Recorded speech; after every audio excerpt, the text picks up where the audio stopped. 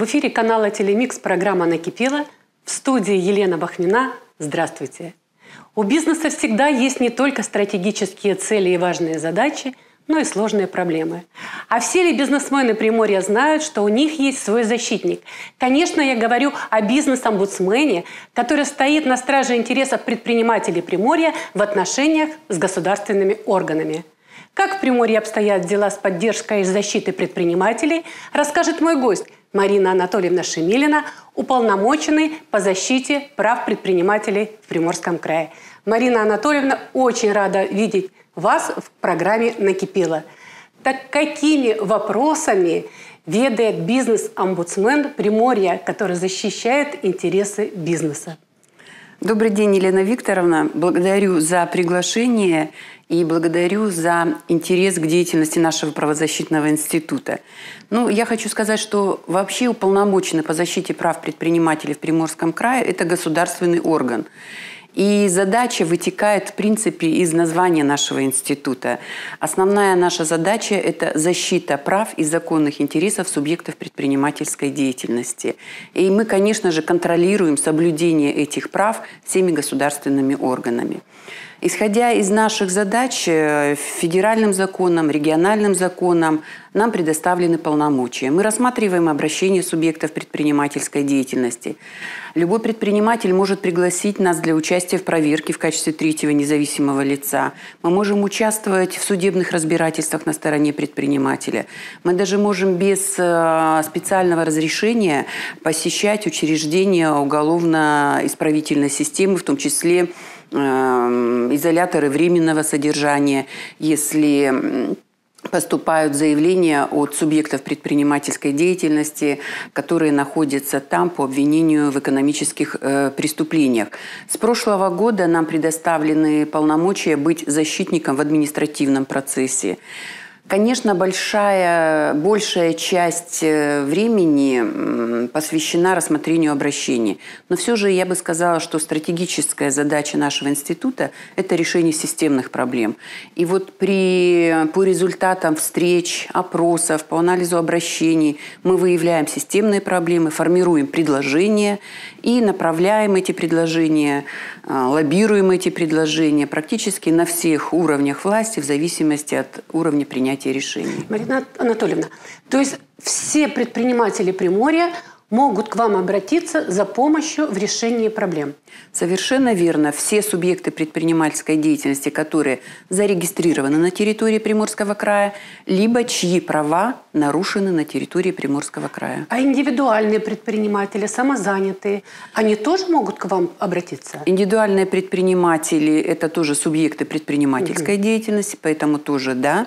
Самозанятые сегодня пока еще законодательство не включило их в число субъектов, на которые распространяются наши полномочия. Вместе с тем э, на федеральном уровне такие разговоры ведутся, самозанятые обращаются, и, конечно, мы им не отказываем в консультациях. А с какими проблемами к вам обращаются предприниматели Уссурийского городского округа? Э, можно несколько примеров? Ну, я хочу сказать, что предприниматели, обращения от предпринимателей, осуществляющих деятельность в Уссурийском городском округе, по сути, не отличаются чем-то от э, других обращений. Ну, пожалуй, в каких-то исключительных случаях, как, допустим, вот в прошлом году э, были обращения, связанные с наводнением, с ЧС, которое э, произошло в городе Уссурийске. Так, предприниматели были у нас обращения по отказу в получении разрешения на строительство по акту ввода в эксплуатацию зданий. Были обращения по а, выкупу по реализации преимущественного права выкупа помещения.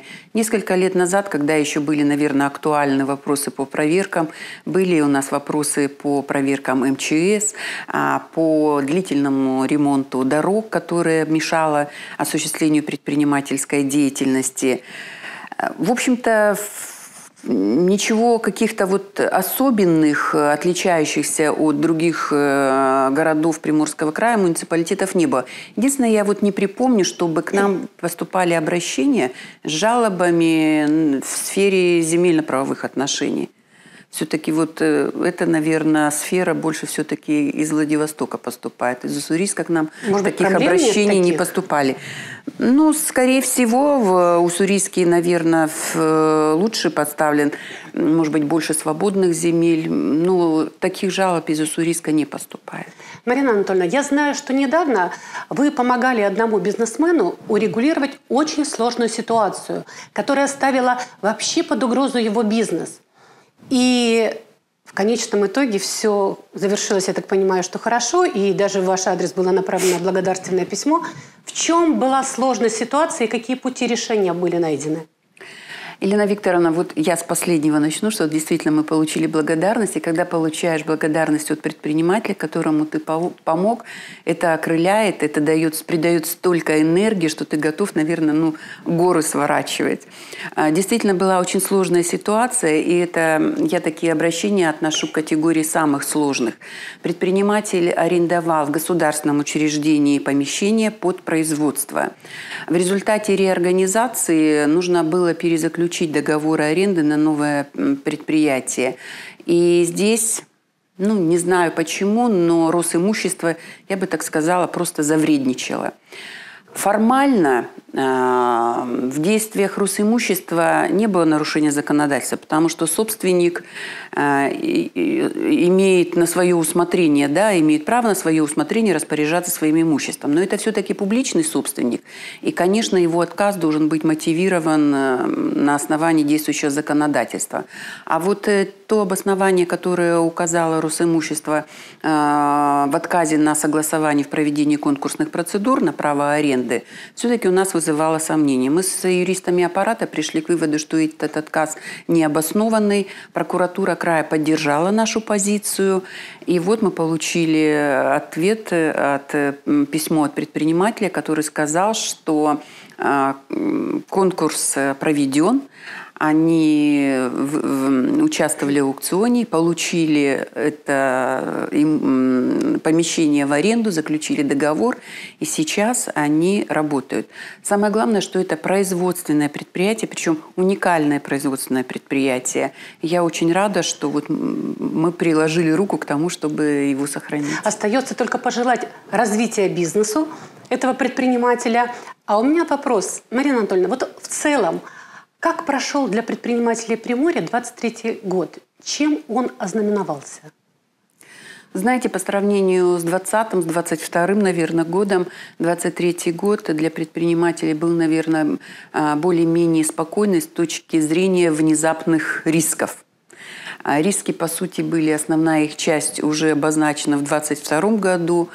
И 23 год, э, вы знаете, мы получили рекордно малое количество обращений. И я это связываю с периодом адаптации, наверное, все-таки. Потому что в 22 год был очень сложным. Предприниматели действительно получили огромное количество рисков. Такого не было, наверное, ни разу вот э, в, а, у российского бизнеса и ломались и бизнес-цепочки, и логистические цепочки. И как раз вот в 23 году предприниматели все это создавали, искали новые варианты. Поэтому, наверное, я вот связываю именно с этим, что было малое количество обращений. Но я вам хочу сказать, что приморский бизнес у нас достаточно активный, самодостаточный. И несмотря на вот такую сложную ситуацию, много же предприятий новых открылось. Открылось, открылись новые предприятия, и производственные в том числе предприятия. На инвестсовете под председателем губернатора практически на каждом совете, ну, наверное, проектов 5 рассматривается достаточно крупных проектов, которые при, претендуют на звание масштабных и приоритетных. И малый бизнес тоже э, открывает новые производства. Поэтому То есть, если радует. говорить о бизнес-климате в Приморье, то он стабильно развивающийся, и количество предприятий, предпринимателей растет. У нас по итогам 22 года, это тяжелого этого года, угу. мы получили впервые за последние пять лет положительную динамику. Количество субъектов предпринимательской деятельности. Вот парадокс. А, за 22 год количество возросло на 1%, А за, по итогам 2023 года уже реестр субъектов малого и среднего предпринимательства, который ведет Федеральная налоговая служба, показывает рост уже на 3,5%. И вот по состоянию на 10 января, а именно 10 числа Федеральная налоговая служба обновляет реестр, и 10 января 2024 года на, в реестре значилось почти 88 тысяч субъектов предпринимательской деятельности. Мы являемся лидерами по Дальневосточному федеральному округу вот, э, по количеству субъектов предпринимательской деятельности, по количеству э, занятых. И нужно учесть, что у нас же есть преференциальные режимы. Угу. И свободный порт Владивосток, и ТОР, и САР. И, конечно, я думаю, что в Приморье достаточно благоприятный инвестиционный климат.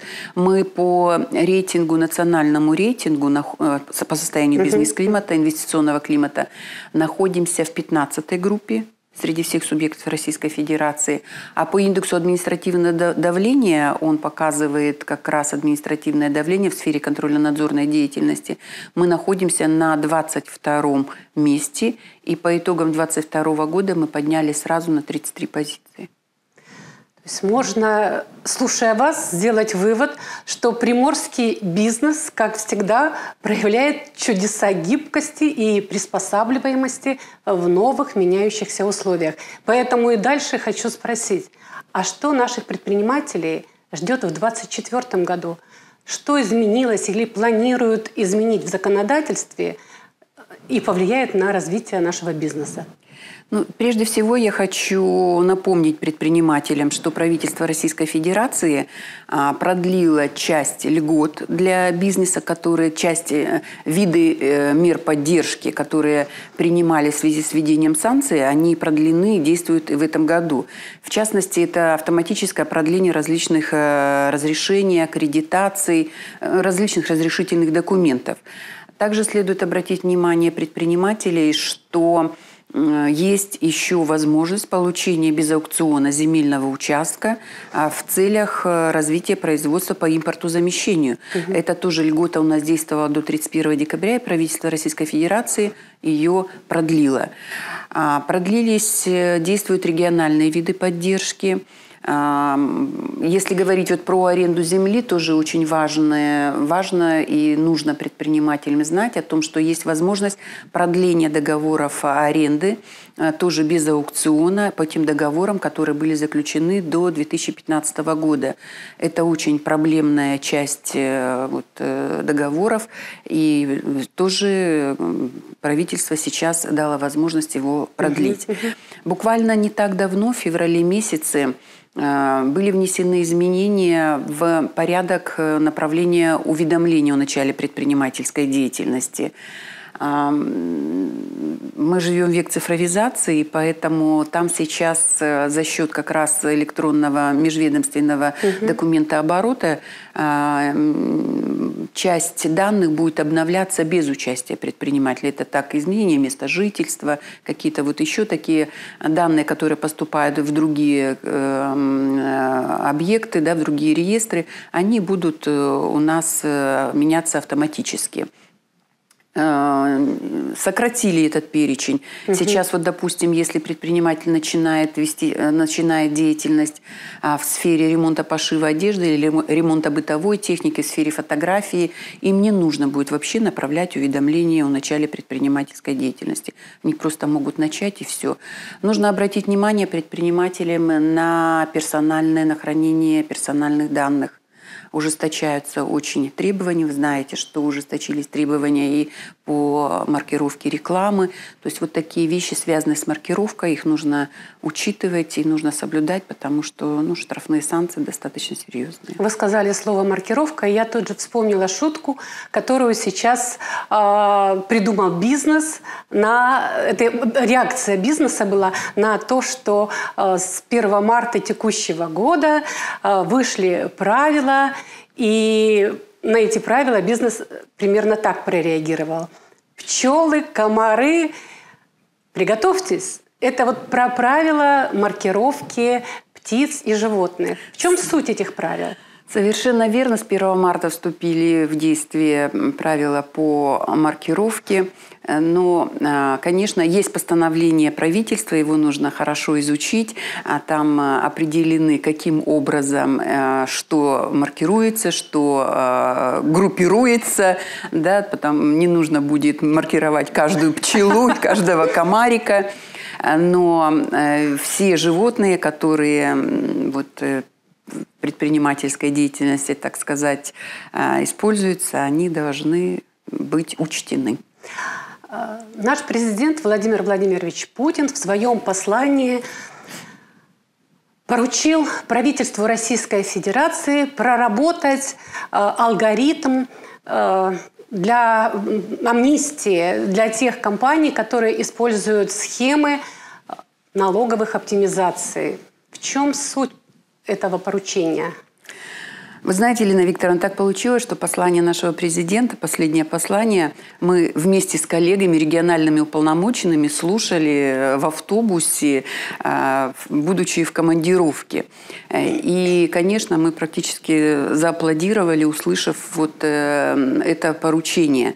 Потому что на самом деле последние годы предприниматели, бизнес-сообщества очень много говорят вот об этой проблеме дробления бизнеса, о критериях, которые которые по а, объему выручки, количеству работников, по которому предприниматели могут применять специальные налоговые режимы. В прошлом году в аппарате, в центральном аппарате Бориса Юрьевича Титова была создана из региональных уполномоченных рабочая группа, которая занималась анализом правоприменения э, налогового администрирования, практики налогового администрирования и влияния ее на предпринимательскую деятельность.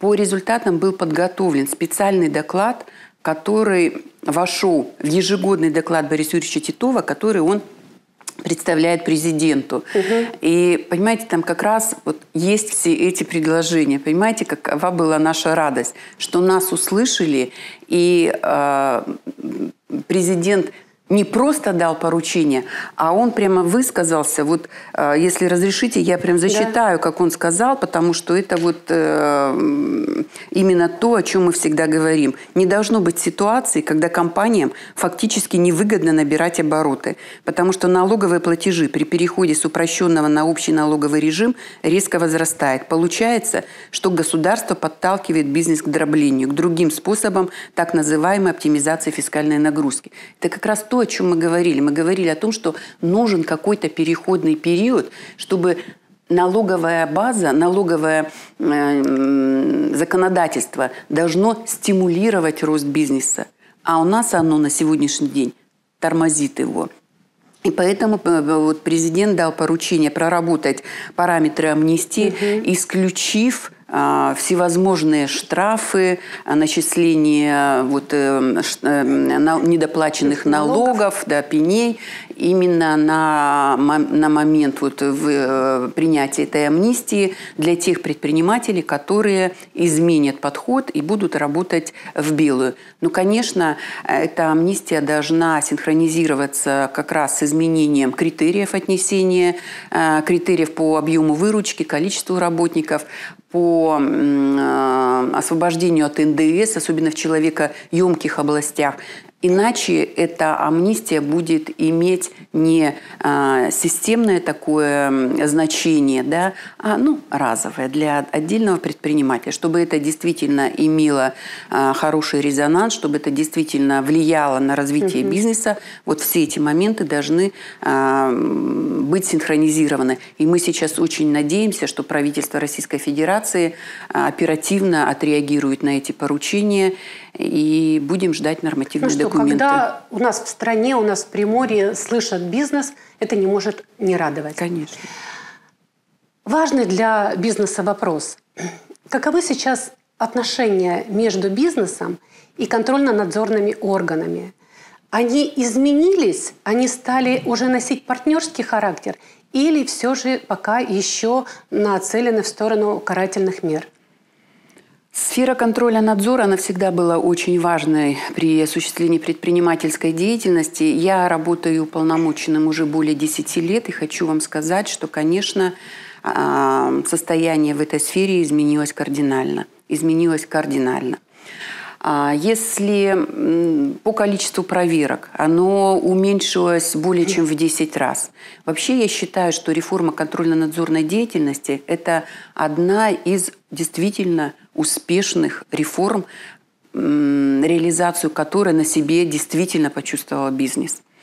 Ведь проведена большая гильотина э, отживших э, свое требований, которые угу. уже не актуальны, которые ну, просто для того, чтобы вот проверить и привлечь к ответственности. В 2021 году вступил в действие новый закон о контроле, который направлен в большей степени на профилактику. Вот я и хотела попросить рассказать, что такое профилактические визиты надзорно-контрольных органов? А, как я уже сказала, закон о контроле 248 ФЗ, он предусматривает э, профилактические мероприятия. И вот профилактический визит – это тоже контрольно-надзорное мероприятие. А вообще предусмотрено 7 контрольных э, профилактических мероприятий.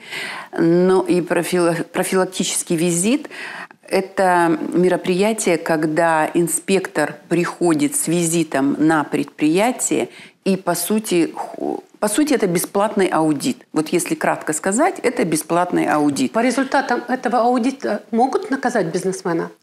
Он бывает обязательный и добровольный. Причем я хочу сказать, что по обязательному а, профилактическому визиту а, предприниматели должны известить за пять дней, предприниматель может от него отказаться за три дня до профилактического визита. Есть добровольный, предприниматель сам может запросить. Много ли добровольцев-предпринимателей, запрашивающих профилактические визиты? Нет.